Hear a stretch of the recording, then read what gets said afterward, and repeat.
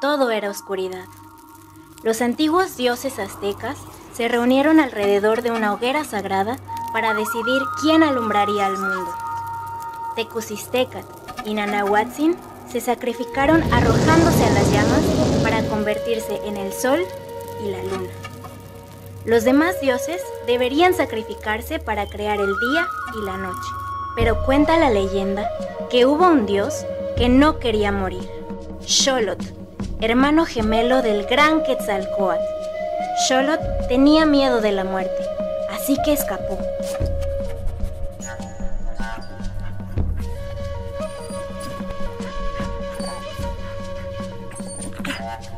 Buscando un escondite, se escabulló entre los maizales y con sus poderes de transformación se convirtió en Xolot, el maíz de dos tallos.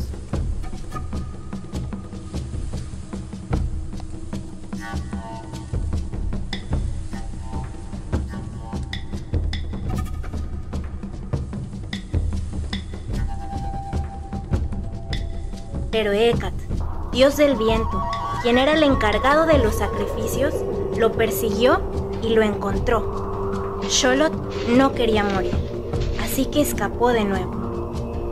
Esta vez se ocultó entre los magueyes y se transformó en Mexolot, el maguey de dos cuerpos. Pero el viento lo descubrió.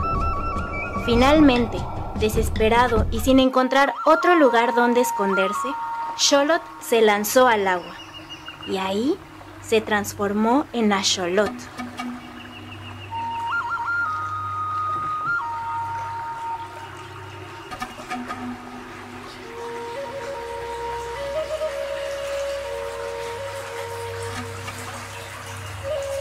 Pero nadie puede escapar de su destino, al menos no por siempre. Ahí en el agua fue capturado y condenado a permanecer como un monstruo acuático por el resto de su existencia.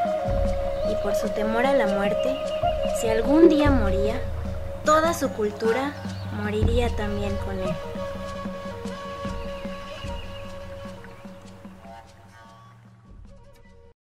Ok, para el maquillaje del dios Sholot voy a comenzar trazando el diseño que quiero en mi pecho con este lápiz para ojos y cejas Tomé como referencia diferentes diseños de la cultura azteca.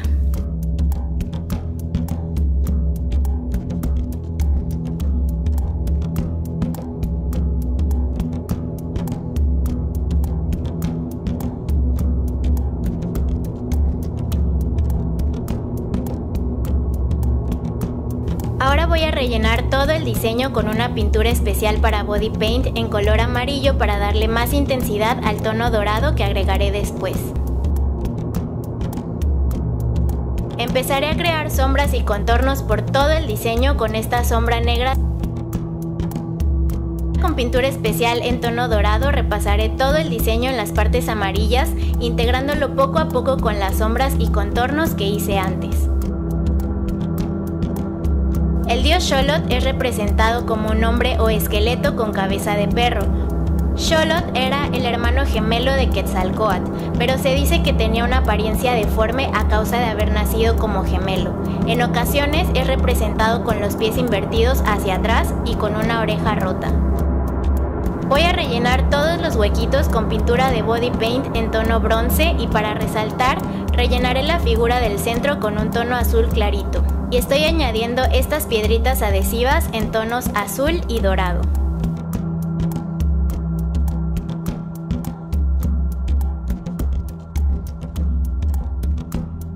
Por último pintamos todo de color negro también con pintura corporal a base de agua.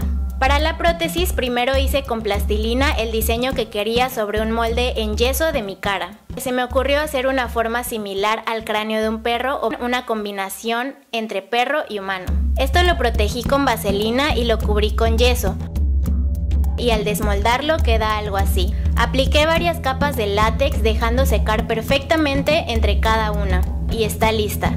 Corté los bordes para ajustarla bien y protegí mis cejas con pegamento en barra. Puse látex en mi cara y también en los bordes de la máscara y la coloqué con cuidado. Ya sé que al principio parece un cerdito, pero poco a poco va tomando forma.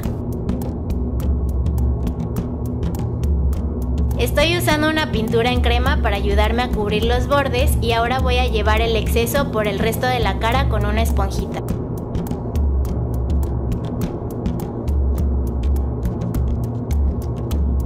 De pintar toda la cara con la misma pintura negra que usé en el cuerpo. Voy a agregar pintura corporal en tono plata en las partes de la cara que quiero resaltar o iluminar y voy a hacer lo mismo en el resto del cuerpo. Dios Sholot era una deidad oscura y rara y fue destinado a acompañar al sol en su trayecto durante la noche, y es asociado con el perro Xoloscuintle.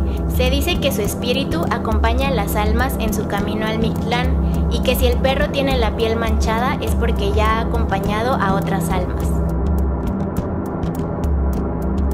Con el mismo tono dorado que usé en el pecho voy a añadir detalles en el rostro.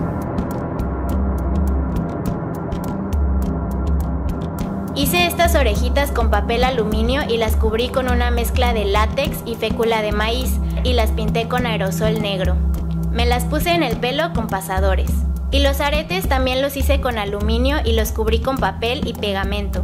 Los pinté con aerosol dorado y le agregué piedritas y picos dorados. Los pegué a mis orejas con látex. También me puse este pequeño penacho azul para darle un toque de color y así quedó este maquillaje. Para representar el maíz voy a empezar cubriendo mis cejas con pegamento en barra. Dejo secar un momento y la sellaré Ahora voy a pintar toda mi cara y cuerpo con pintura corporal dorada y antes de que seque la voy a sellar con pigmentos dorados para darle mucho más brillo. El maíz es un elemento fundamental de la identidad y cosmovisión de los pueblos indígenas, considerado como fuente de vida espiritual y material. Estoy usando un tono dorado más clarito para añadir iluminaciones y con un tono bronce voy a contornear.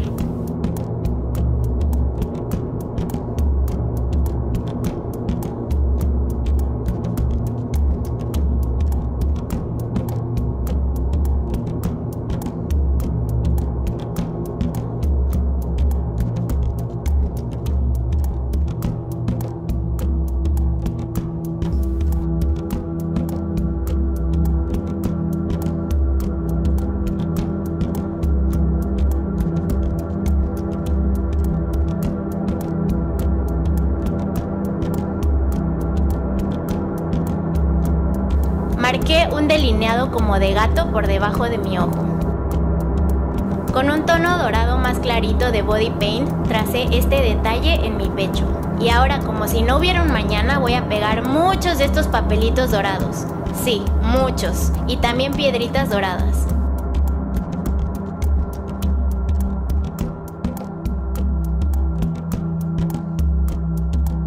Remarqué nuevamente los contornos, me pinté el pelo con aerosol para cabello en color dorado y agregué estas pestañotas amarillas. Y así queda este look. Para la transformación del maguey empezaré nuevamente cubriendo mis cejas con pegamento en barra y sellaré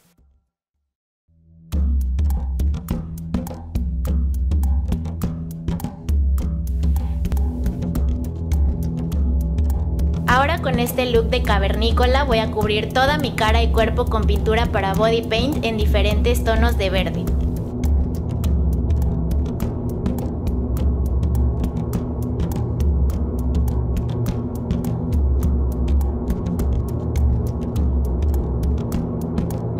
Voy a usar un tono amarillo de pintura corporal para iluminar y un tono verde más oscuro para marcar los contornos.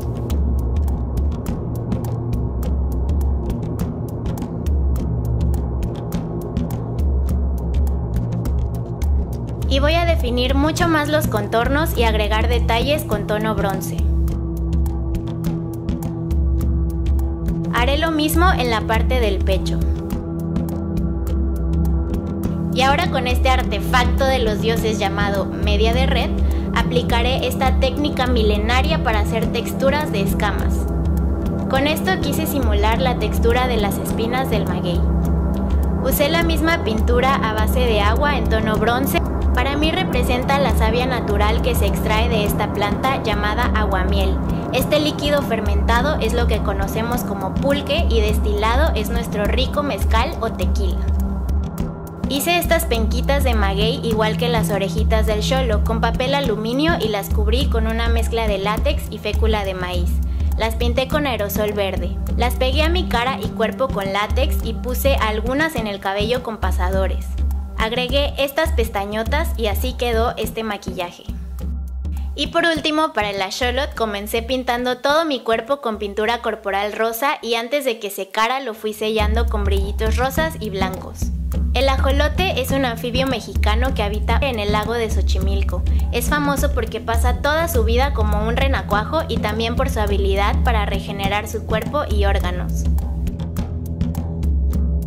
Con un tono rosa más oscuro voy a marcar los contornos y fui añadiendo poco a poco colores morado, naranja y amarillo, difuminándolos e integrándolos bien unos con otros.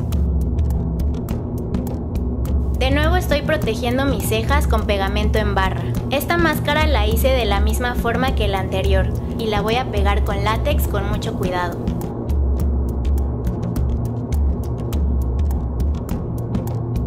Y así queda nuestro look de Voldemort o de Tortuga Ninja. Ahora voy a rellenar todo el hueco de mi ojo, lo sellaré con sombra negra y agregaré brillitos blancos.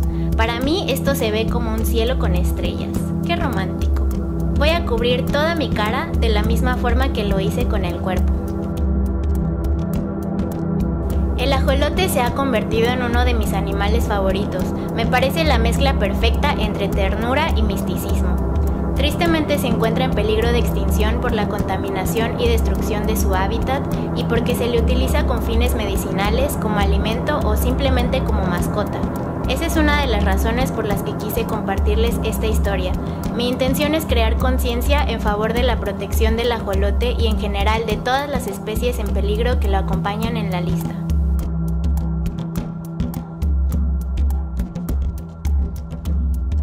Estoy pintando mi boca con un tono rosa oscuro y nuevamente agregué textura con esta técnica milenaria de los dioses.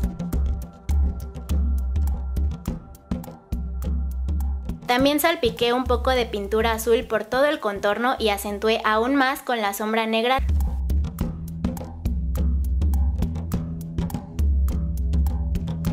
Hice este tocado con cartón, lo decoré y lo pegué en una diadema. Lo sujeté con pasadores a mi cabello. También pinté mi cabello de rosa y así queda este look. El maquillaje me hace sentir que yo también tengo poderes de transformación. Espero que les haya gustado muchísimo y que esta historia les inspire tanto como a mí. El dios que le tuvo miedo a la muerte hoy está en peligro de extinción. Y su destino está en nuestras manos.